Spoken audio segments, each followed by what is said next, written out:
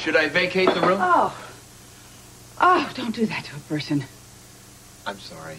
you know, I never know quite what to say in situations like that. It's okay. You may have just saved me from diving headfirst into the gym.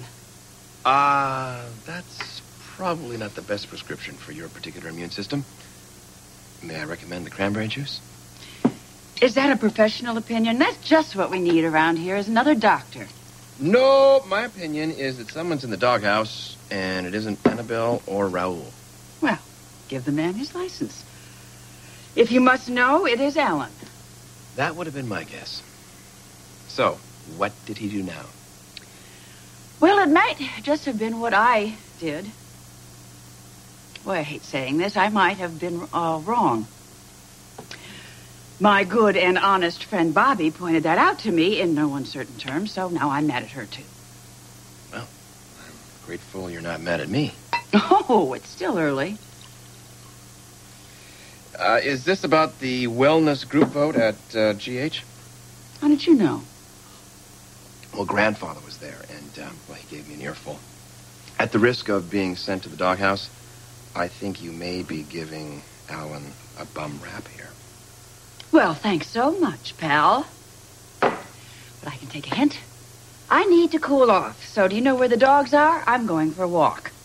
I think they're with Cook. Fine. Bye.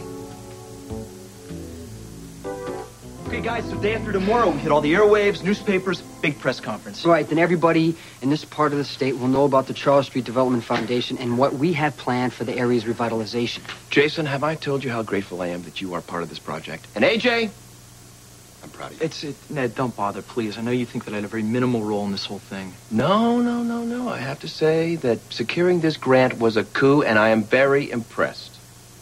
And the speed with which this grant arrived gives the whole project an outside credibility.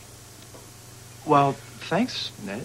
Thank you. Just make sure that you give ELQ a little credit. Uh-huh. By all means. Forget about a few months ago, ELQ was trying to destroy the neighborhood. But sure now, why not? We admitted our mistake.